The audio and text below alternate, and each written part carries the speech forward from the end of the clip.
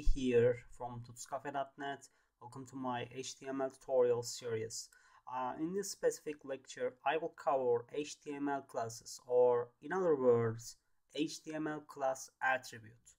As always, the best way to learn is doing something, so we will learn by doing. I definitely believe that you will learn the HTML classes in this video watch the video and please try to code what you're learning okay let's start with coding our HTML skeleton. Doc type HTML HTML head closing head body and closing body. Closing HTML okay I want to add a title here.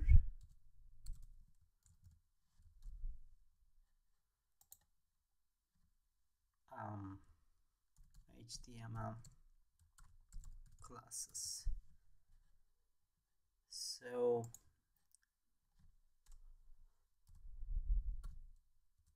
level 1 heading. Hey I am uh, an important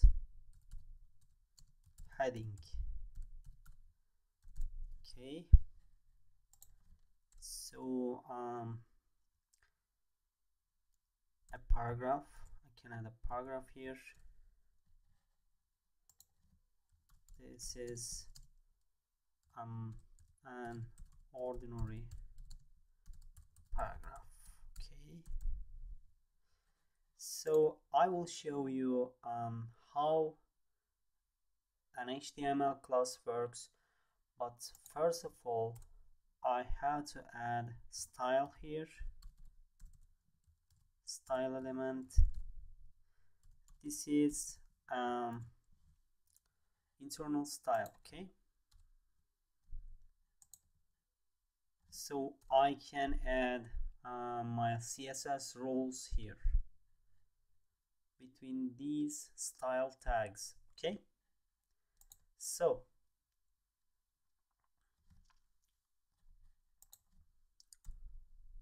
um this is a period. So my class name is red heading and I'm opening and closing curly brackets. So all CSS roles must be placed uh, between curly brackets okay? Color red. So um, this is a class name uh, and if I add this class name here with class attribute. What is my class name? My class name is red heading. Okay. Red. Yeah. Red heading. So this text uh, is going to be red. Let's see yes my my level 1 heading is now um, red okay?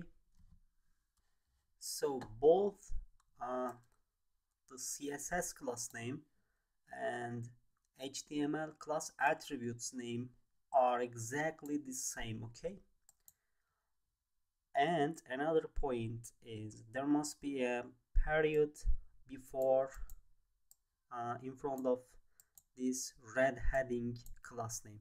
This class name um, could be anything like um, anything like red okay?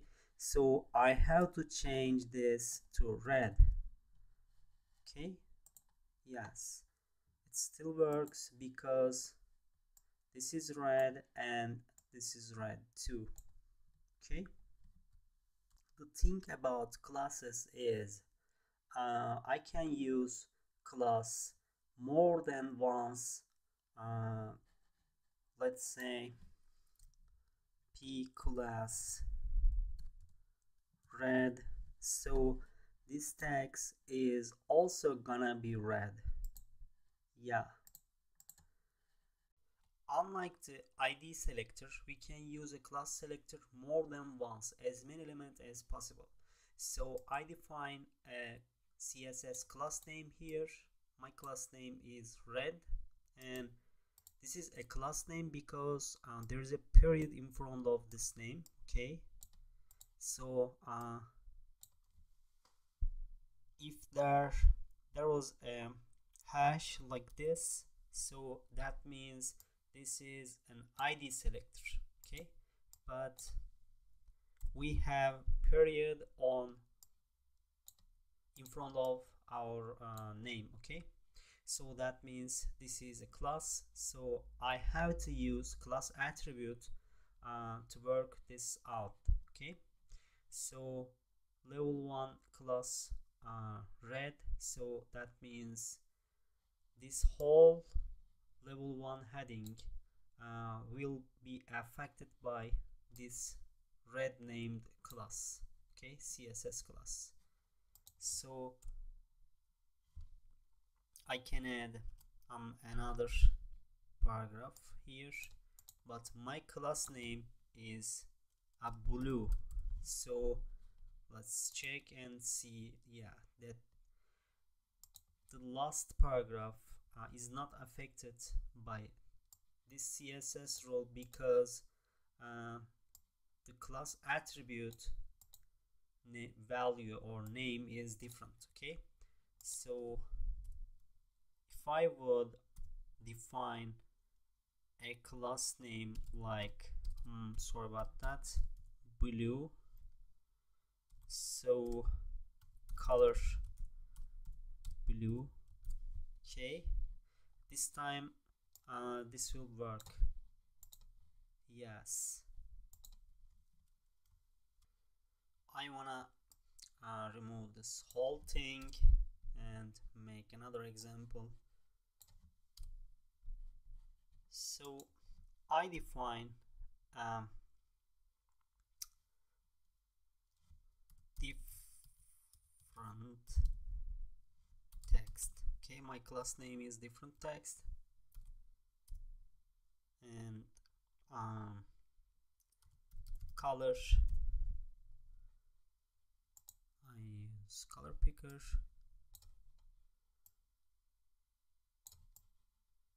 this is my color name. Font weight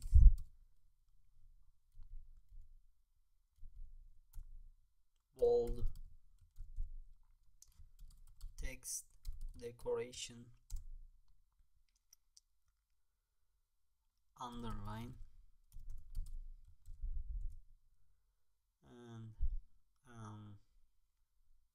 okay that's enough. So I'm um, in the body I have a level 2 heading a paragraph another paragraph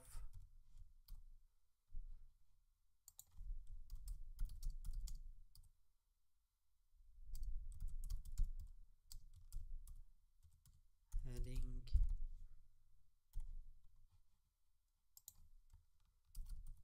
just the paragraph.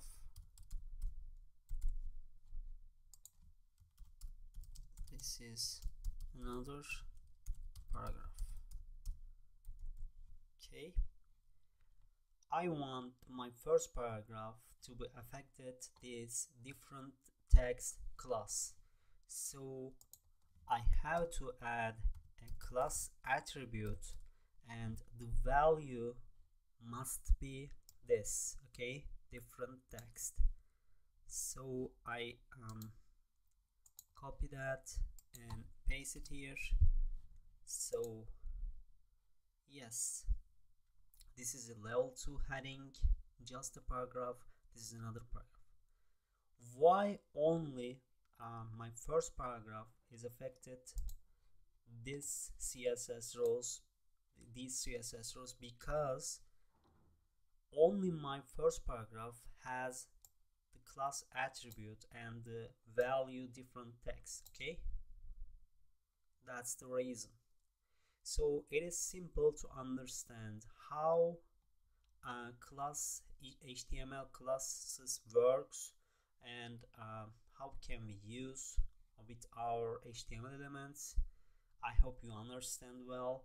If you have any question uh, feel free to ask use comment section and i'm always here to help you. Thank you guys watching this video